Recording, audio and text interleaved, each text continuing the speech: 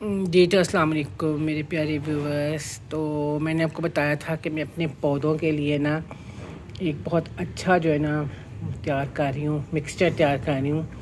तो ये देख लें कि ये मैं तैयार कर रही हूँ उनके लिए। इसमें सब्जियों के छिलके भी हैं इसमें फलों के छिलके भी हैं इसमें जी आ, क्या कहते हैं अंडों के छिलके भी हैं इसमें पत्ती जो मैं चाय बनाती हूँ कावा उसको धो के वो भी डाली हुई है। ये चार ये पाँच दिन से मैंने जो है ना इसको रखा हुआ है। और अब ये हो गया रेडी अब इनको मैं डाल दूँगी छान के पौधों में। इससे पौधों में बहुत अच्छी जो है ना पैदा, पौधों की पैदावार होती है। और इसकी जो है ना वो जड़ें भी मज़बूत होती हैं और वो फूल भी ज़्यादा देते हैं और फल भी ज़्यादा देते हैं। तो ये आप भी कोई चीज़ वेस्ट ना कीजिए कि करा करें और जो जमा करके ना उसमें भिगो के रख दिया करें और फिर उसका पानी जो है ना चार पाँच दिन के बाद गमलों में थोड़ा थोड़ा सा डालना है बस। ज़्यादा नहीं डालना। तो ये सारे पौधों में मेरे जो माशाल्लाह इतना सा बाग बना हुआ है, उसमें ये सारा पानी पूरा आ जाएगा तो मैं अभी इसको छान के तो जब पौधों में डालूँगी तो आपको दिखाऊँगी। तो अब फिर मिलते हैं पानी डालते वक्त। जी तो मेरे प्यारे व्यूवर्स, ये देखें कि उस दिन जो मैंने सब्ज़ियाँ लगवाई थी, माशाल्लाह से वो अभी तक खड़ी हैं। हालाँकि बड़ी सख्त बारिश हुई है और पानी से ये मुझे डर था, ख़राब हो जाएँगे।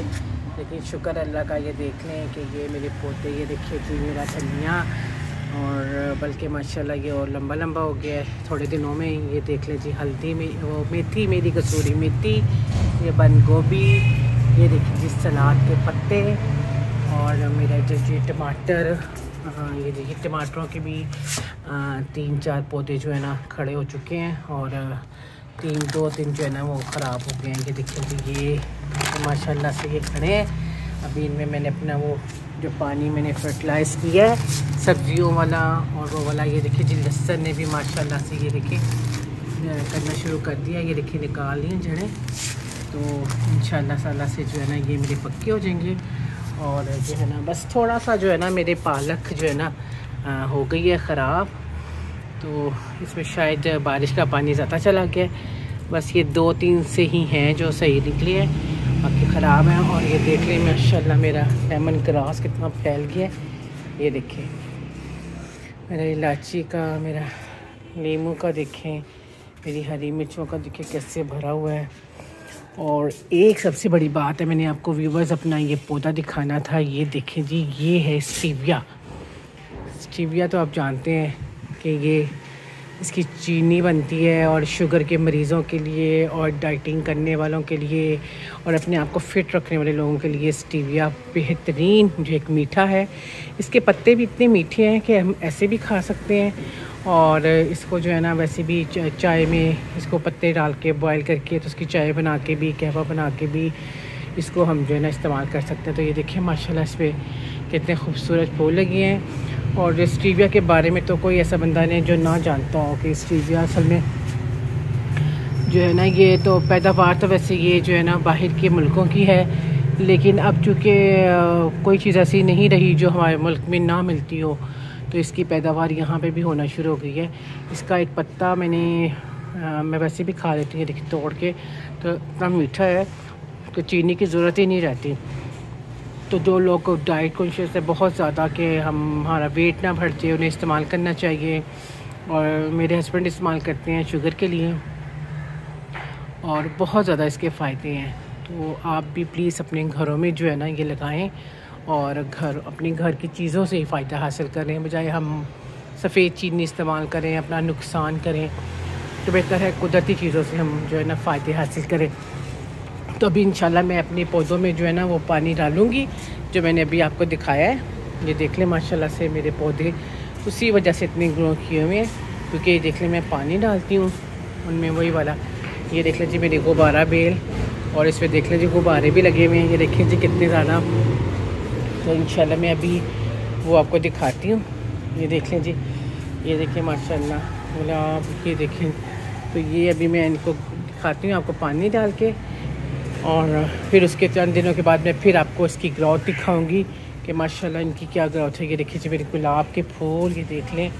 ये देखिए जी, मेरी मेहंदी का पौधा मैंने छोटा सा लगाया था और ये फर्टिलाइज वाला पानी डालती हूँ और उन दिनों में माशाल्लाह जो है है। ये मेरा कड़ी पत्ता, माशाल्लाह ये कड़ी पत्ता देखिए मेरा। ये सब पौधे मेरे, माशाल्लाह। बस अब मैं आपको इनको फर्टिलाइज़ किया हुआ पानी जो है ना मैं आपको डाल के दिखाऊँगी और आप देखिएगा को चंद दिनों में ये माशाल्लाह कैसे बड़े बड़े हो जाते हैं। हाँ जी अस्सलाम वालेकुम तो ये मैंने अपना जो है ना पानी फर्टिलाइज़ किया हुआ है, ये देख लें जो मैंने सुबह आपको दिखाया था। अब वो मैंने छान के जो है ना रख ली है। तो अब मैं बिल्कुल थोड़ा थोड़ा सा जो है ना पौधों में डालूँगी और कल फिर मैं इसकी गोडी करूँगी ताकि इसके ऊपर ना इसकी कोई काई ना आए। तो आपको मैंने बताया था कि इसमें सारे फलों के जो है ना भी छिलके थे और सारी सब्जियों के छिलके थे और जी अंडे और क्या कहते हैं जी, अंडों के छिलके थे और इसमें पत्ती जो है ना इस्तेमाल शुदा वो थी। तो उसमें थोड़ी स्मेल होती है लेकिन आपको बर्दाश्त करनी पड़ेगी, लेकिन ये इसके लिए बहुत फ़ायदेमंद है। इसके मिनरल और इसकी विटामिन इसकी कैल्शियम हर चीज़ जो है ना इस पानी से जो है ना पूरी होगी और आपकी सब्ज़ियाँ बहुत अच्छे से जो है ना वो ग्रो करेंगी। तो और भी बहुत सी जो है ना चीज़ें हैं जिससे हमारी सब्ज़ियाँ बेहतरीन हो जाती हैं।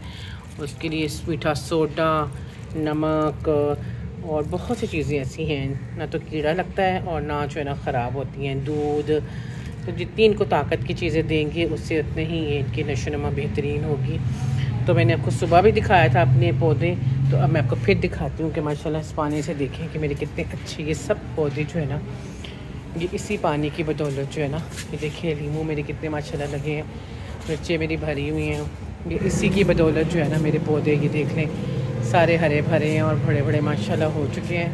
तो इन फिर मैं आपको अगली रेसिपी में जो है ना, अगली इसमें वीडियो में मैं आपको और भी बहुत सारे तरीके जो है ना इनके बताऊँगी कि इनको कैसे हम ग्रो कर सकते हैं अपने घरों में, कैसे इनको ढेर सारा सा जो है ना हम बना सकते हैं। ठीक है? तो ये मेरी सब्ज़ियाँ इन आप थोड़े दिनों तक ये बड़ी होती हैं। जितनी जितनी आपने देखी हैं, इनसे थोड़ी सी बड़ी होती है तो मैं आपको दिखाती हूँ फिर। तो अगली वीडियो को मिलेंगे इन शाला हाफिज़।